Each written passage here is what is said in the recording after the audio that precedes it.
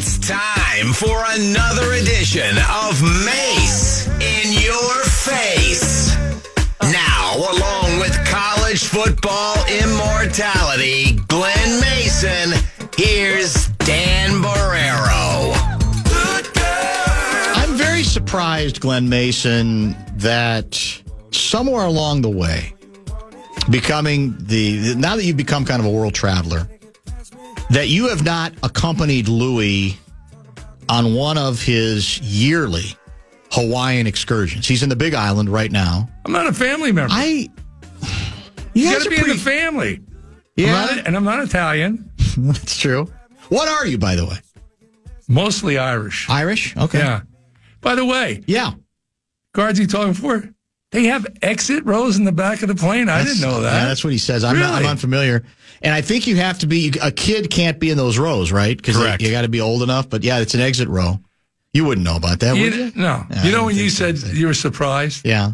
I thought you were going to say you're surprised that I didn't walk in and poke you right in the nose. What did I do? Because I've had more people. I'm traveling. People are calling me and saying, "Your buddy, Cheap shots? Dan, taking cheap shots Damn it. They weren't while supposed you're to. traveling." They weren't supposed to tell you. just just like the uh, oh, I heard so many people telling me, oh, we forgot all about the Northwestern Hail Mary. Oh, you yeah. know, Well, You know, that was I timely. I, but I know, it, but I think, do you ever talk about the good games that I, you know, Occasionally, you but not know- often. How talk about Ohio State 2000 a lot. what- We no, do. How about when against in uh, '99 Penn State? against Penn State when we threw two hail marys in the last drive? You did? Yeah, I don't remember that. And Yeah, they- I know you they- wouldn't remember because we won. And they worked? yeah. Oh. I don't remember those. Yeah. Did you practice for them or was it just pure luck? Well, we had him, but I just lost my patience. First down, we threw it. Yeah. Ron Johnson caught it midfield, and then we threw a Hail Jane, which you don't know what that means. I have no clue. Hail Jane for us, have three guys to one side and two guys go deep, and the inside guy breaks out. Okay. And it tipped, and Arland Bruce caught it. Oh, yeah. Then I played for the field goal,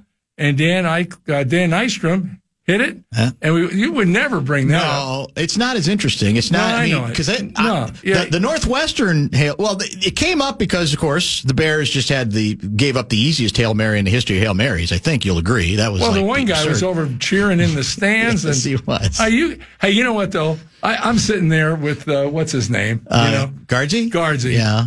and you know you shouldn't use big words that you don't understand, like class, about the guy Wow. robbing the ball. You know, I mean, really? I mean, come on. Are we talking about Dan I said Ferrero? jackassy. is what I said. I thought you said yeah. no class. Yeah. Well, no class. Hey, also. before- before- well, you tell me what should. happen. I mean, that's ridiculous. You don't steal. Try to steal the the, the fielder's glove. Well, it's- Well, you're a New Yorker you know, though, so you might no, agree I with mean, that. Or a Jersey. No, no, don't, don't. You know, you like to throw everybody Yeah. In into that same pot. pot. It's, it's, it's. Very the majority, of, probably the guys around said, "What did that guy just do?" You know, and uh, and they threw him out, and it was an out. Let me ask you before I forget though, Yeah. because you know I'd like to. I always talk about my you- good friend Gary Holman. You Yeah, know, the do. Cavallero. Right. Well, anyway, he's down in Florida, and it's his girlfriend's birthday. Oh, we're happy for him. Yeah. Yeah, and she's a lovely late, way too nice. Was she him. like 26? A little older than Okay. that, just a little bit. right. But Sorry, she's very bad. nice. It's her. I'd sing happy birthday, but everybody would turn the radio off. Yeah. So, are you glad to Well, I thought me? you had something else. Is that it? Oh, thought I got a lot of backstory. No, let me tell that. you. Let me tell you this. Go ahead. A couple of weeks ago, we were talking. I, you know, I sit down and YZ. I talk to everybody, Yeah. and there was a guy walking down the street. You remember the story? And he had a Michigan shirt on. Mm-hmm. And I, you know, for years I didn't see anybody with a Michigan shirt. Now they won the national championship last year, and the Michigan shirts every place. So I said, "Go blue!" And the guy walked over, and we started talking. He's not from here. He lives in Tampa, but he listens to K Fan all the time. So he reached out because he on my shows. Right, he said, "Hey, I hear you talking on your road trip that you're probably going to be going through Tampa. If, if you are, Oh, yeah. uh, why don't you stop on the way home and I'll buy you dinner? This guy's the retired CEO of Bloomin' Brands, which is uh, Fleming Steakhouses, which is world class. so he could buy the twins if he wanted to. Was probably could. Yeah. And uh, Outback Steakhouses and some other things. So anyway, I called him and I did. So I, I Saturday I drove up there and went to Fleming's restaurant right by uh, Raymond James Stadium. Oh, yeah. Great spot, great restaurant. Guy went above and beyond. He and took he care brought, of you, huh? He brought three guys with him, and he told me he was going to do that that work in the company. Any women? football fans know, and he's not that good a guy. and and, uh, he brought the three guys with that are football fans, and there was an, uh, uh, another Michigan guy and a Michigan State guy, and there's another guy. Any that- soon- Indiana soon as you- guys? no, as soon as you sat down, you knew this guy was really sharp, really smart. You know, cut above. I knew he had to be well educated. He went to Harvard, Harvard of the Midwest. That is the Ohio State University. Of course, yeah. But we, we had a great dinner. But you talk about a small world. The general manager of that restaurant uh, went to Texas A&I. Who else went to Texas A&I? Johnny Randle. John Randle. Yeah. I asked him, absolutely. And this guy knows John Randle, and he played pro football for the Bucks and the Cowboys. Great guy. Absolutely great guy. And uh, so anyway, um, David Deno, who's the, the, the guy, he says, how the big K fan, how can we get Dan Barreiro and Guardsy? I Down in I Tampa? Yeah, I said, I don't know about Barreiro, but if you say free meal, my man will be down there in a second. And uh, In your but I, he said, well, we could Some do the show for right from the restaurant the whole day. Oh, I said, you know what? I said, sometime if the Vikings are playing There down go. against the Yeah. Buccaneers, That's it. It could probably Road trip. happen. Then it could happen. Road trip. What What was your meal? What'd you have? Oh, started, well, first of all, we had some adult Several cocktails. courses. Yeah. I had a martini. Okay. Oh, was that rare for you? Uh, no. Oh, okay, No, big when I, martini when I don't have to drive, I had a, a martini. Yeah. They had some Manhattans, and I think uh, uh, David had 12 year old Macallan, uh, hey, you say it? Scotch, Yeah. $5. Right. Then he ordered this big tower of seafood. Oh, one of those seafood Oh, towers. Oh, And then he tried to get me to order the uh, uh, bone and cowboy, but it's 20 ounce. I said, I can't eat that. So I ordered a bone in ribeye, and Okay. everybody else had that with all the sides and dessert after dinner drinks. It was great. Absolutely. I'm telling you, I, I don't know when I've had a better dinner than that. well, I hope you at least tipped your server No. since you got the meal for free. I, I entertained the whole Oh, my night. God. I telling story. How about this though? So you know, I every morning I go out to the dog park. Yeah, right? sure. And I got my peeps. Already since you came back, you yeah, I've been there. Yeah. And they were texting me from time to time saying, "We miss you, we miss you, we miss you." You know.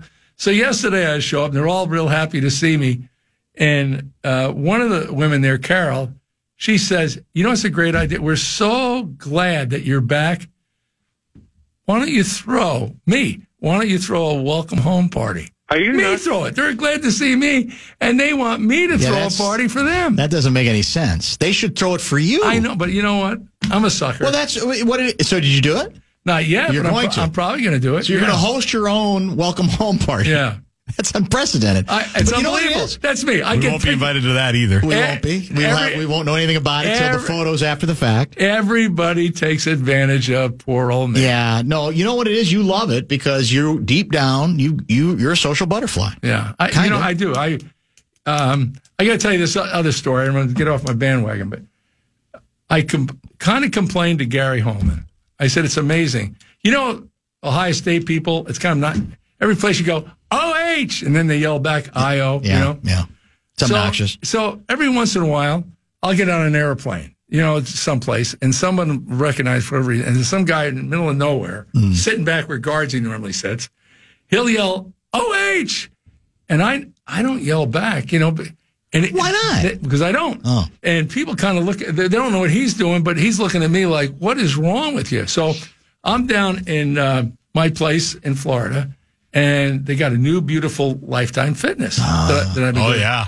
They really do. So I, I go over there one day and there's a guy walking through. He's on the he's on the treadmill or what do you call that? You know, Yeah, he's going, he's Right. going, and all and it's packed. And all of a sudden, he thinks he recognizes me, and he he screams out, "Oh You know, it scares the hell out of everybody. They're all looking at me. I don't say You didn't do anything. So finally, he comes over and says, "Hey, you look like Glen Mason." I said, "Uh, "I am." He said, well, "Why didn't you?" Why didn't you? I oh, you know. Said, well, you know. Give the people what they want. So anyway, so now I drive my first day on the trip back. I leave Tampa and I drive to Blytheville, Arkansas. And as I park the car and I'm getting out of the car with my dog, here's a family. They pull in. I see the Ohio license plate. Okay, so this wife, three kids, guy's got the bags and all that kind of stuff. I mean, he's really loaded down. He's walking in, so I couldn't resist. I go, OH! and I'll be a son of a gun. He dropped Everything. everything in the parking lot. There you go. IO. You did I it. said, you know what? You got and- into the spirit of it, huh? I guess so. I don't know. What happened on that Hail Mary uh, play against Northwestern? That's so long ago. They scored. How's Zach, that? it was Zak Kustok. Uh, That's they scored. They scored, and it came up because of the the uh, what happened to the Bears. He- You know what? When I saw the video, I watched the video again, just out of curiosity. That play, the, the the the Hail Mary play against that you where you lost to Northwestern. Where I, lo- I go. Yeah. So the it- I don't the- remember it. I the- can't well, here's what was unique about it. First of all, you were up 35-14 second half. They've tied at 35-35. Now they're doing the Hail Mary to to was there overtime then or not? Or was this just a tie game? I don't This was in 2000. Overtime started in '96. I was told. Okay, so there was overtime. But then they have one last play near midfield. And what they did was it looked like it was planned like he they had a receiver almost near out of bounds who then purposely tipped it back towards the end zone to one of their receivers who caught it just as he crossed the goal line. You don't remember it? And then the next thing they show is your face on TV. You did not you were like Did I look like you? Well, you be- looked like yeah, you, exactly. You, You look gotta- like you got to be kidding me. You got to be kidding me. Yeah, that's pretty much it. I've had a lot of those moments in my career. Yeah, but you know, you, you live you, You coached nothing- a long time. Nothing ventured, nothing gained. that's- right? It's the way you have to look That's at why it. you play the game. that is part of why that you, you play the game. Yeah. Uh, let's do this. Let's get a, a pause in, and then I want to. Well, we're going to try to put a grand in somebody's hand, and we got a lot more ground to cover with Mase. The fan and two men and a junk truck want you to enter our national cash contest. The keyword for the four o'clock hour is bank. Go to kfan.com and enter the keyword bank. Yo,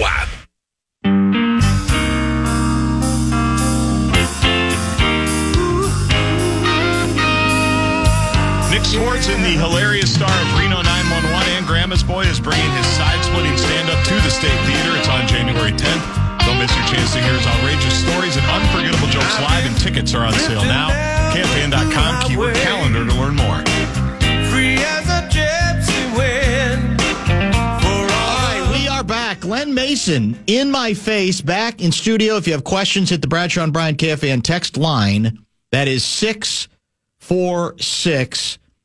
64686. Um, here's an interesting question. I don't know how you'll take this, Mase. Is Mase in your face literally Tommy Olson in 40 years? We need to get these two on a show together. That would be an absolute riot. Forty years. Yeah. he's- Forty years. I mean, yeah, I Yeah. understand that. Yeah. I'm I'm just saying it's not Yeah. a bad not a bad thought. I'll say this Tommy Olson would be lucky to have aged as gracefully and as well as Glen Mason. Wow, Thank that's you. quite a compliment he sent out. Nice. Com- that's the first compliment. And you're going to got. forget it very quickly when Oh. you turn back and rip them. Yeah. You're going to forget. No, no, it's. You- I you're- call. I call it like I said. Yeah. I must. You know what? I, I must have good genes or something. I You think know, you, really. yeah, it helps. Yeah. It definitely helps. There's no And you know, question. I've uh, been a pretty clean liver. you have. I really, I'm, you know, and uh, the the smartest thing I ever did was, um, which isn't many things I've done. When I when I was in graduate school, um, they had uh, I had were a- you in graduate school? where When and where? Yeah, Ball State. I don't remember that. Well, I was, and I had a I had an exercise physiology course. Okay, Yeah. and at Ball State back then, they were on the cutting edge on adult fitness. They had Okay. an exercise exercise physiology. So everybody, all the faculty, be running around at noontime. It was crazy. But anyway, this guy, I forget his name, the professor, he says, "Here's the deal. At the end of the course, you can either take the final for a grade, or you can take the 12 minute run for a grade." And, Really? No, I'm, I'm serious. And he said, you know, back then, 12 minute run, if you could run two miles, it was like perso- Oh, perfect fitness. yeah. Okay.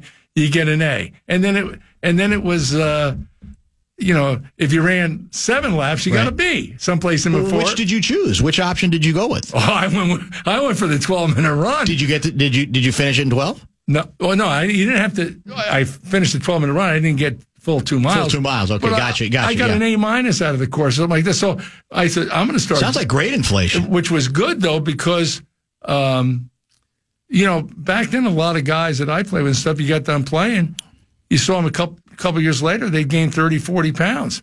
I went the other way. I went the lost weight way. because I, I was I was studying for that running test every day. Did you finish your grad degree? Did, did you Yeah. get your master's? yeah. I don't. Sure. know. When was that? What year are we talking about? 72 or 3, I guess. So you're not coaching at that point. well, back, no, I'm, I'm a graduate assistant. Okay. And the reason I did it, if you can believe it or not, back then to coach in college, most colleges required a master's degree. Oh. So, okay. So Yeah. Dave McClain, who had been Oh, my remember position coach, Yeah, right. went on to Wisconsin, died there.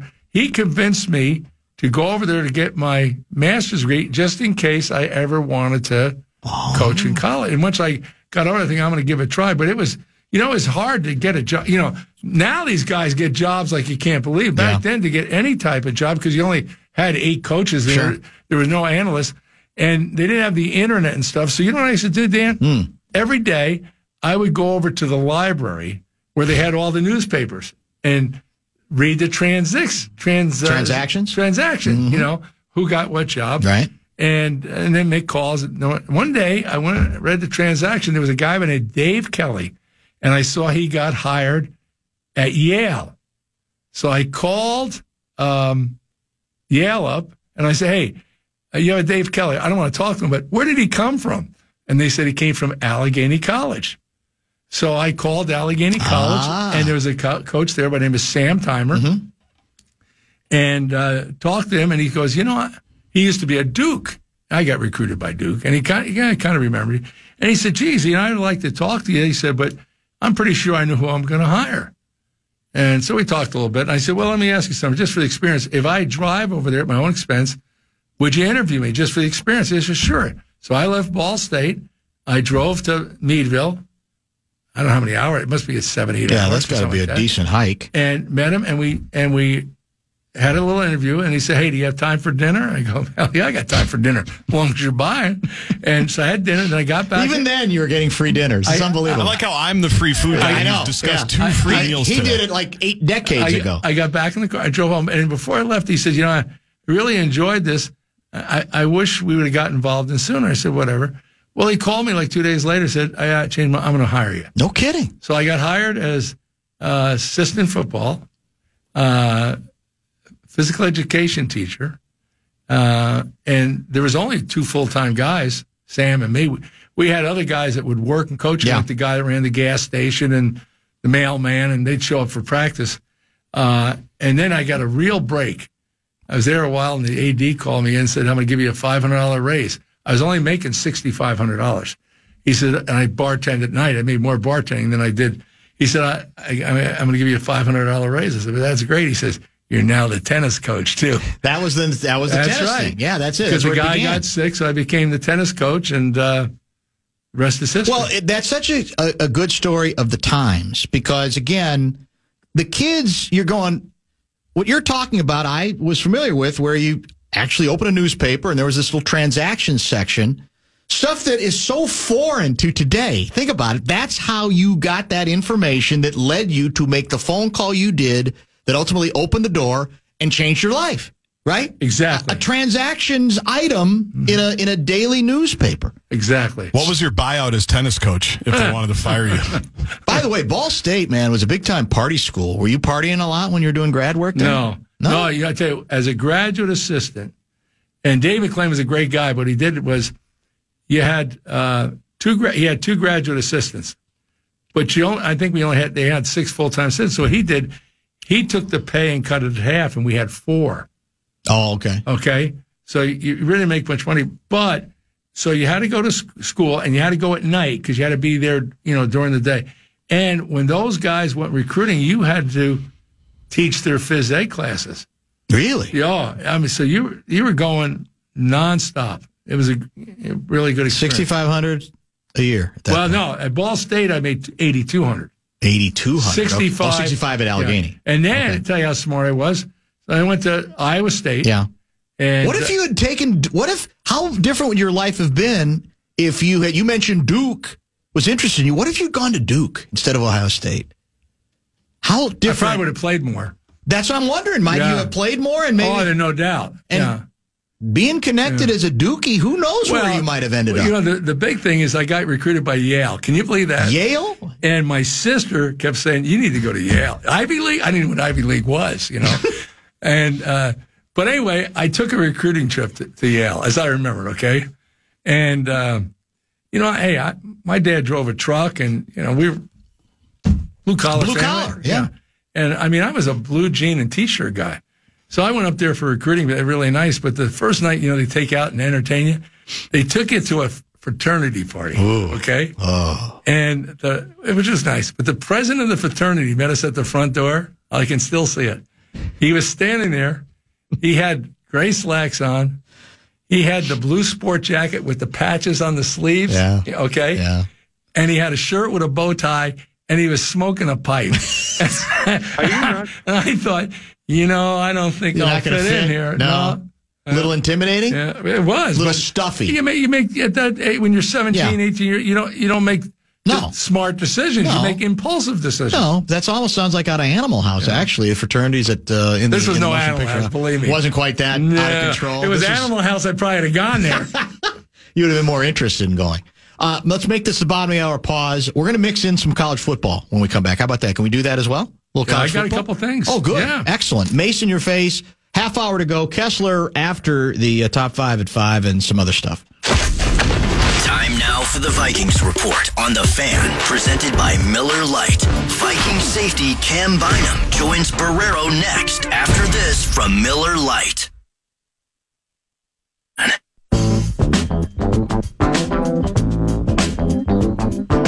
Bell Bank is giving one KFAN listener each week $1,000 to pay it forward to a charity of their choice. Just go to KFAN.com keyword contest to learn more and enter today.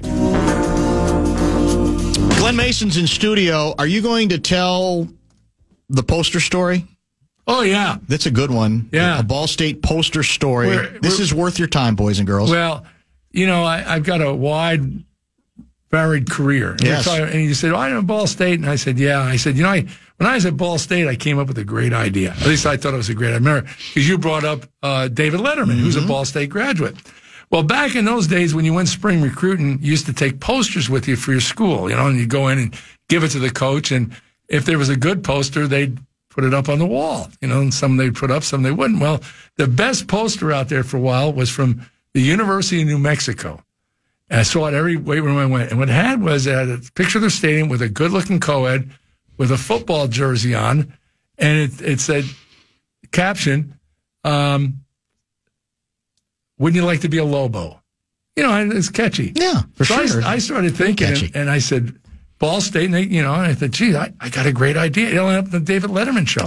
So I, I kind of copied the idea, and I went to the design department, and they made it up for me, and they had a poster of the stadium with a good-looking co-ed with a jersey with the schedule, and the caption was, "Come with me to Ball U." And I thought it was ingenious. I said, I know it'll end up in every weight room. I know it'll end up in the David Letterman show. I got as far as the AD's office and he about, he about fired me. Yeah. I thought it was ingenious. You know I what? too. You know what? I guarantee you, if the coach at Ball State University is listening to this show, he'll probably come up with that poster now because it's a different day and age. And it might change their whole uh, yeah. their whole deal. Uh, Their whole recruiting might be um, changed overnight. Yeah. Come with me to Ball AD U. guy didn't quite buy it, huh? No. That's unfortunate. He thought it was a joke. And, Yeah. uh, and, then- And you meant it. I was dead serious. Yeah. Uh, do we have any college football we can talk about? Yeah. I, I, I, a know cou- you got a couple got a things couple stuck things in your really craw. bother me, Yeah, okay? yeah. Officiating. And we talked, I think, about what happened in the Georgia Texas game, you know, on the pass interference and the guy and everybody throwing the bottles out there and all that stuff. And after, I don't know, a couple minutes, they changed the decision and it's not a reviewable call. And I thought that was that was that, that bad precedent. Okay. Well, last week, um, there, Ohio State's playing, and they're playing Nebraska, and there's a targeting call, of which Ryan Day goes crazy on the sideline, running out on the field. Actually, really, the thing I looked like he bumped the official Yeah. And uh, they uphold uh, tar- and here come the water bottles. They got to stop the game and all that stuff. And it goes to review. They got guys up there who I don't know. They pay good money and they got all the film. They still say it's targeting. Well, so so the guy loses. He, he can't play the first half of this week's Penn State game. Well, the Big Ten Conference then reviewed it and they said ah, it wasn't targeting, so he doesn't have to sit out this week. Now wait a minute. I mean, I, I guess you say, well, you finally got. Well, what's those guys doing up? What's the point? You know, you, yeah. it's one thing if you're on the field and Right, you're official. right, yeah. The heat of the you come, but those guys are up there. How can that happen? But the other thing that comes out uh, was the Big Ten office admitted that um, they made the mistake on a spot that they didn't give Nebraska early in the game for a first down, I missed that one. and uh, they end up had to settle for a field goal rather than touchdown. They lost a close game. Well, when you watch the film, Dan, the guy makes it by a good yard and a half. I mean, he's stand it's he's standing up before he gets tackled, and you think, how can that be? How, That's you know, bad. how- I mean, eh, but but it's one thing to come out and say, um, there used to be guy, and I'm I got to be careful. I'm not making any accusation. There for years, you'd hear people, maybe not coach, say, officials are on the take. They couldn't have made that call. You know, they know what the score is. They know what's going on. They're doing it. When you see this one, the only thing I could say is either that official, the group, or whoever saw that there, was either on the take or totally incompetent. And either way, they It's a bad should look. they should have coached or officiated Yeah. their last game. I really believe that. Well, I'll tell you something, uh, it'll- and this is going to, you won't remember this next week because just like you won't remember the compliment Guardsy sent your way earlier in the yes, show. I do. He said I look a lot younger than. Well, yeah. No, he hopes that the Olsen kid ages as good As- as, as gracefully as you what have. said, Yeah. I, I, Thank you. I'm making, and I'm not paid to say this, a Big Ten Network observation. When it comes to game day analysis, whether it's in the studio or whether it's especially during the game, they so badly miss people like you, it's not even funny. I, I really think, and I know a lot of it is probably saving money and it's difficult to find, whatever the case may be. But I I I think that they are at an all time low when it comes to analysis. I do. I, I I think and I know you had a good run with them and you're not complaining or anything like that. But I think that there's a clear there have been a series of swings and misses about who has been sort of ushered in and who has been one way or another subtly you know, given the door. It, it, I don't, I don't think it's very good at all. I'll give you the, the, the best example was the Minnesota game. Okay. Who did the Gophers just play? Maryland. Maryland. Okay. Well, you know, this year, what's the big change? They're throwing a lot more. Mm-hmm. And the QB just had his best game. He's throwing really well. But during the broadcast, it was still like, well, you know, you know, you know what the Gophers want to do. I mean, there's almost like they were surprised they were throwing that well. Well, this year, out of necessity to a certain extent, Because they can't run it. because they can't run it, they're throwing a lot. But that tells me that the folks who are preparing for these games, they're just listening to old narratives rather than, well, study what's going on. The whole point of this season for the Gophers has been the not so subtle transformation from it, a running team to a passing team. And it's like, what what are you watching? Nope, go you know what the Gophers want to do? They want to run the ball. They may want to run it, but they're not running it this year. They are throwing it. So they miss you. I'm trying to I'm trying to Well, uh, give you. you. a compliment. I I, Yeah. I, I I appreciate that, and uh, you know, I when I uh, and I hear people say this, but I watch. I things have changed. When I first got in that business, and I had no background because Right. I always used to be on the other side of it, and I remember a guy just said, you know, you're doing TV, so you don't have to talk nonstop. It's not like radio. And now when I watch, there's some guys talk the whole time. Yeah, great point. And it's like, you know, you want to say, shut up. This place play is not Yeah. worth analyzing. No. There's some plays not worth analyzing. They just happen, right? yeah. And That's a great point. That's true. Uh, and then the other problem I have is some of these guys, um, they talk like they know everything. you know, they might have been out of college two years, you know, whatever, never coached, whatever, played one position, and they talk like they know everything. And the problem is the majority of people listening, they think they know everything. And, and they don't. Uh, we have a texter who's got a gopher question for you. This is Adam in White Bear Lake. Can you ask Mase his thoughts on Perich? If he stays with the Gophers, does he have a chance to be the best safety to come out of Minnesota? Sounds preposterous to say it, but it just looks like the kid might have it in him. What do you think? Um, Well, you know, uh, he looks awful good to me. You know, I don't know what he means if he stays. You think he's going to leave? Uh, you know, if he wasn't a Minnesota kid, the way he's playing, the way blue blood schools steal guys from Yeah. other teams, Yeah. you'd be a little nervous. Let's just say he was a kid from St. Louis or he was from Youngstown, Ohio. you might be a little nervous. I don't think, uh, where's he from? Elko or someplace like that? I think it's- Esko. Esko, Esko. that's right. I know Up by it's close. Duluth. Uh, Duluth. he he probably you know are going to stay now. Um, I think what he's doing right now, uh, I think he could be really now. We there's a history of guys that are pre- you know you know pretty good. I mean, don't forget the uh, um, uh, Tyrone Carter. He won the Thorpe Award. Yeah, he was I mean the best good. Yeah. the best defensive back in the country. And let me just tell you something: if you do that from Minnesota. You're really good. I mean, you catch the attention, Mm-hmm. Right. You know, by everybody, and you know the Winfield kid uh, had a great career, and he's did? he's even playing better, in, you know, in pro football. Uh, but this guy is, you know, really, you know, really good, and he he plays that center field good. If they put the ball up for grabs, he's going to get it. Uh, Gophers, as Craig from Boston, Massachusetts writes, are favored over the Illini, even though the Illini are still in the top 25. So, how do we explain that? Is it simply, are the Illini that decimated by injury? What, what explains the fact that you got a team still in the top 25 as badly as they got beat last week? Gophers are not ranked. Gophers are on the road, and apparently Gophers are favored. Well, I don't know who all votes on the ranking, but I know who sets the betting line, and those guys are a lot smarter They tend to be. It's a lot smarter uh, than the guys that, that are ranking. I, I I can tell you that because a lot of people are ranking. They don't even see the teams play. They know who won or lost, and and they go from there. But you know, um, it was always my understanding. I'm not a better. I'm not that. You know, the guys that set the line, they try to do it so you have just as much money bet on one team as the other team, and they're going to make ten percent. They can't lose, and that's why the line, you know, changes. Uh, but so the only thing I would tell you um, is that uh, maybe not enough enough money's being bet on Illinois. Right. Would that be it?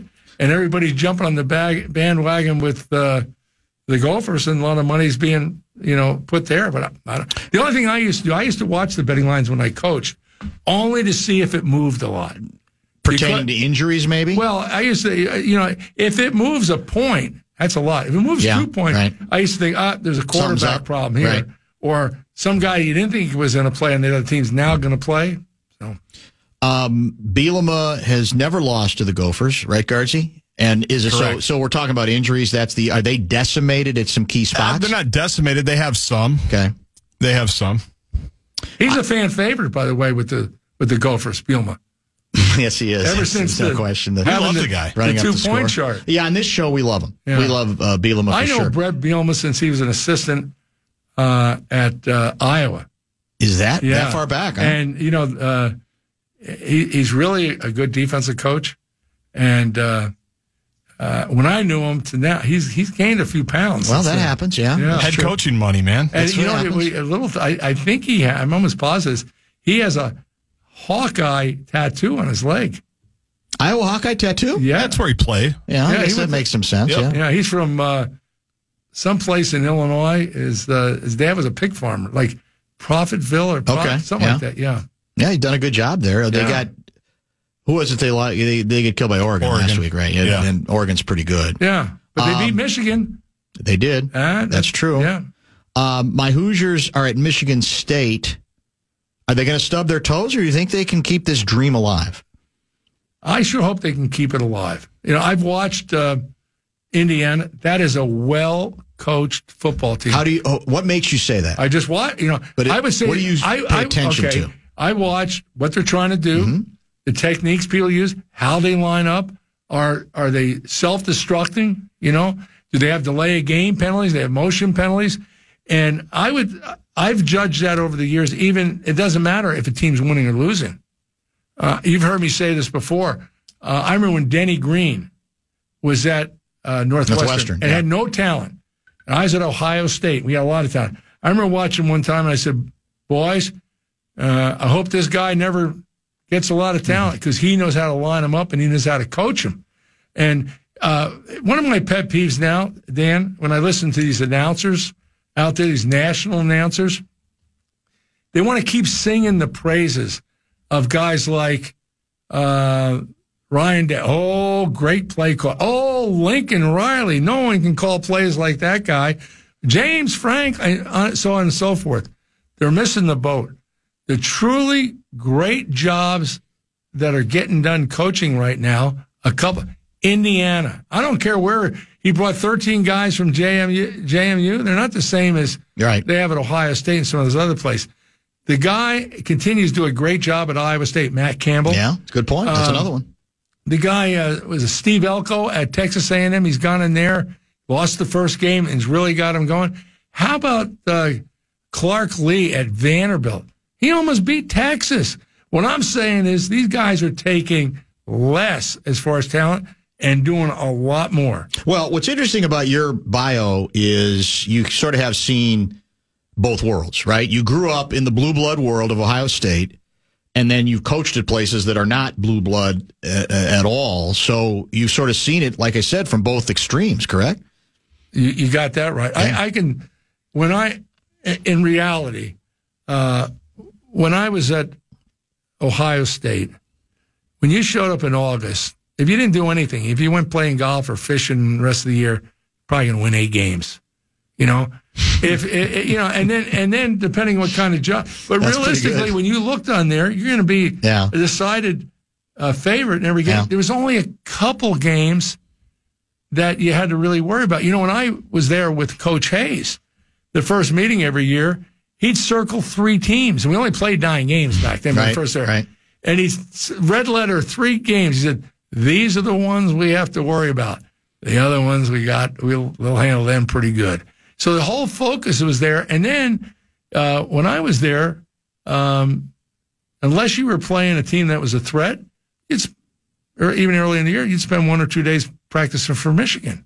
You know, everybody knew it, and uh, just the way it was. Yeah. Well, it's interesting because, like I said, people at the blue blood schools don't like to hear this, and and because you come from that, you can do it because you ha- you have indeed seen the other side as well. They don't like those reminders, right? It, I don't. I bet you you're not popular reminding people of all the built-in advantages that the Ohio States and historically Well, the Michigans of the world You know, have. the, the, the one problem uh, people they ask me again, they say, "What would you do differently?" You know, uh, coaching some of the places you've been. I said, "Well, I'll tell you. I always think there's two ways you can communicate. You can tell people what they want to hear, Right. or you can tell people what they need to hear.